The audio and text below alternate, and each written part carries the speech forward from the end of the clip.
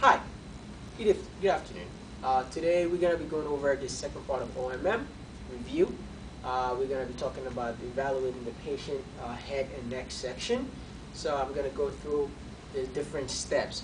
Uh, I want you guys to realize this is the preferential uh, uh, method that I chose and I felt like works best, at least for me. So I hope this video, uh, you find this video very helpful, and you can always choose your own method as long as you go over every single steps that's required by the OMM review uh, sheet.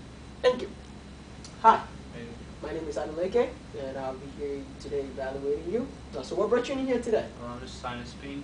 Okay, patient has sinus pain, um, then I'm going to evaluate the patient to see for any, any somatic dysfunctions. Uh, first, I want the patient to bend his neck down. Thank you. And I'm going to passively flex the head of the patient. I want you to extend. Great. Now I'm going to extend. The patient does an active motion. I want you to rotate to the other side. I'm going to passively rotate to this side also. Excellent. Good job. I want you to side bend your neck to the other side. Good. To this side also. Great. So the patient has a really good range of motion. And now I'm going to check for his cervicals. So now I'm going to palpate to see if the, the patient has any cervical dysfunction starting from about C2 to C7. Does it hurt on the right? Mm-hmm. Okay, how about the left? Okay, how about the right? On the left? Okay, on the right? No? On Yeah. the left? Good. All right. Now I'm going to check the patient's sinuses. We're going to start with the frontal sinus. So I'm going to palpate and press down. How, does that hurt? Yeah. Okay, good. How about this? So I'm palpating on the, on the maxillary sinus right now. Now I'm going to feel for the patient's lymph nodes to see for any swollen lymph nodes or lymphadenopathy. Start for post, posterior auricular lymph nodes, light palpation to deep palpation, then anterior lymph nodes, the anterior, uh, the pre-auricular lymph nodes. Then I'm going to go submaxillary to feel for any light to deep. See um, anything. Then I'm going to go submental to feel for any uh, lymph nodes also. Then we're going to take a look at the sternocleidomastoid muscle.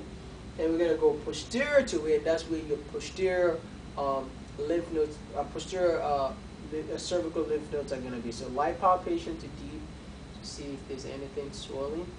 Also on the other side, bilaterally. Now I'm going to palpate the anterior lymph nodes also. See if he has any swollen lymph nodes. And I'm going to palpate his supraclavicular lymph nodes. All right? Great. Now I'm going to continue my physical exam by examining the patient's ear.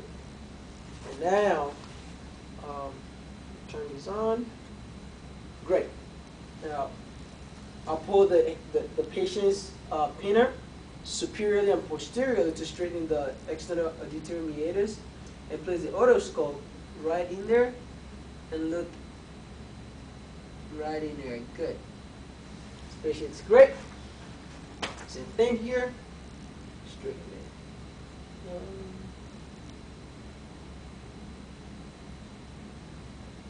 Good. Patient is doing great.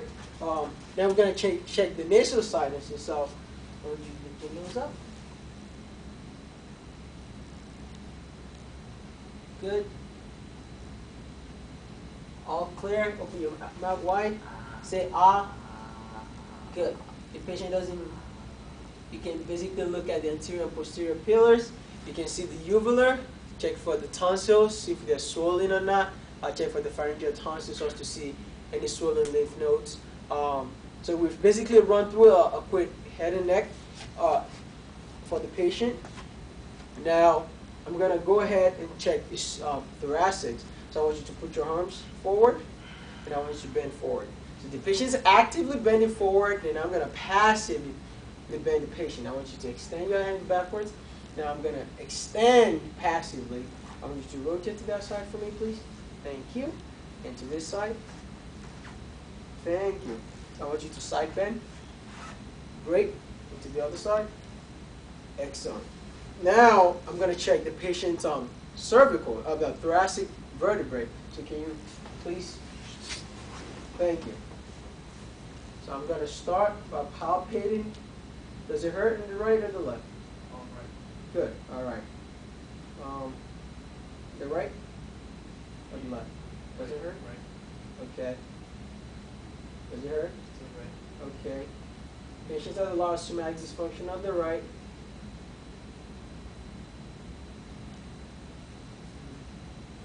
Yeah.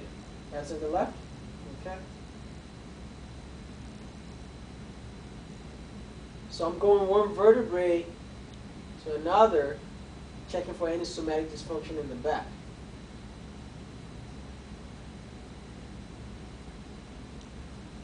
All right, good. Now that I've checked that, um, I want you to face forward.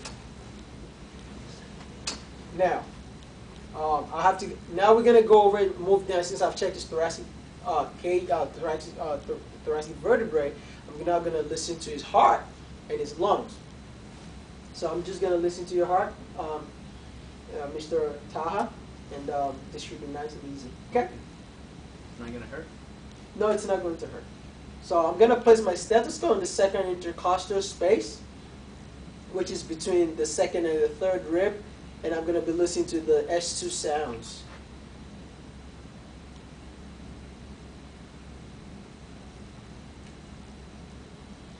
Now I'm going to place also on the other side, and now I'm going to be listening to the pulmonary uh, sounds for, for S2. Good. Now I'm going to listen to the tricuspids, which are mid-sternal, and I'm now going to listen to his mitral, which is on the fourth intercostal, right mid uh, mid clavicular.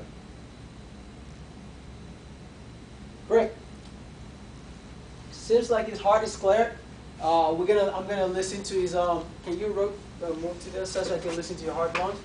Uh, for, so I'm not gonna listen to his lungs.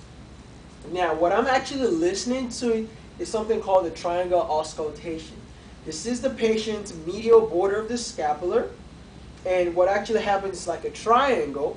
And what you notice is the the inferior angle of the scapular and you have the medial border of the scapular. The latissimus dorsi is going to be the base of the uh, uh, triangular auscultation. And his trapezius, which is coming basically out medially, right around here down to the center. Remember we went over um, the origins insertions of the trapezius muscle. So basically that's where exactly you can listen to lung sound. So I'm going to listen to that, and I'm also going to place it right under his ribs also to listen because when the patient inspires, the lungs goes from T8 to T10, and basically because of the expansion of the lungs. So that's what I'm going to be doing right now. I'm going to listen bilaterally and hear for any wheezing, any uh, any uh, sounds, uh, and um, we'll check in a minute. So take a deep breath. Breathe out. Take a deep breath. And out. Breathe in. Clear. Breathe in. And out. So the patient's lungs are clear, and uh, we're gonna move on to the uh, other side of the examination. I'm gonna check for his ribs. Um, can you breathe in for me? So I'm checking for rib one, and breathe in again. Now I'm checking for ribs two. Uh, I want you to lay on your back for me, uh, Mr. Taha, and this way. And um, just give me one second. All right. So now I'm going to be checking for the patient's rib function and just to check for the upper ribs. Rib three. Breathe, take a deep breath in for me. And out. Great. Excellent. Now I'm going to check for his clavicles. So I'm going to palpate his clavicles. And now I'm going to place my hand over to stabilize the clavicle. And I'm going to internally rotate and externally rotate the clavicle just to check for range of motion of the patient. There you go. All right. The patient has good range of motion. Now I'm going to place my hand on the sternum. And basically I'm placing my hand on the uh, manubrium of the, uh, of the sternum and checking for any like slight movement. So I'm going to try to extend and uh, flex the, the, the sternum, a little side bending to the side.